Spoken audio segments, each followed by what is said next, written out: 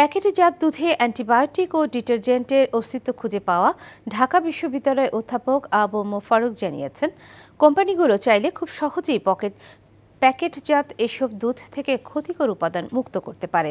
তিনি আরও জানান, খাদ্যপণ্যের মান নির্ণয়ের সরকারি প্রতিষ্ঠান বিএসটিআইয়ের সক্ষমতা বাড়ানো প্রয়োজন। সকালে ঢাকা রিপোর্টার্স ইউনিটিতে এ বিষয়ে এক আলোচনায় অধ্যাপক ফারুক তার বিরুদ্ধে ওঠা নানা সমালোচনার জবাব দেন। রিপোর্টে আরও জানাচ্ছেন আরাফাত সিদ্দিক।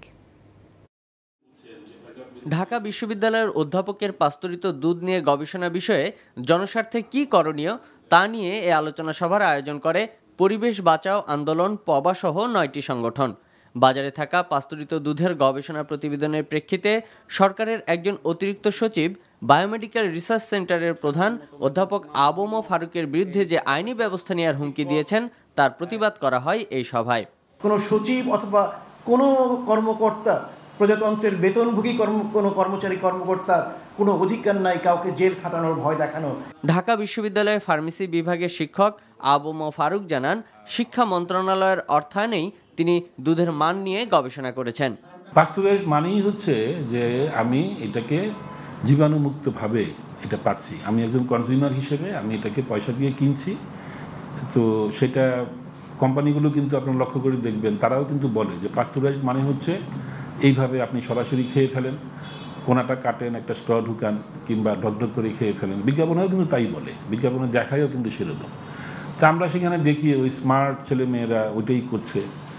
তা আমরা দেখলাম যে আমাদের আসলে অতটা স্মার্ট হওয়া ঠিক হবে না। কারণ হচ্ছে যে এর মধ্যে প্রচুর পরিমাণে জীবাণু। তিনি বলেন কোম্পানিগুলো চাইলে সহজেই তাদের প্যাকেটজাত দুধের মান ঠিক করতে পারে। জনগণকে এই মেসেজটা দিতে চাই এবং দিয়েছি আমরা আপনাদের সংবাদকর্মীদের মাধ্যমে যে এটা বয়ল করে খেতে হবে।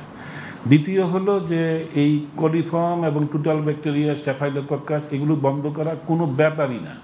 একটা কোম্পানি তারা যারা নাকি এত ইনভেস্টমেন্ট করছে, এত বড় ইন্ডাস্ট্রি করছে নেটওয়ার্ক তৈরি করছে, তার জন্য জীবাণু দূর করা কোনো বিষয় না।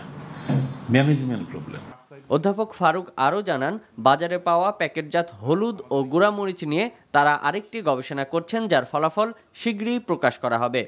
Arafat Siddique, NTV news, Dhaka.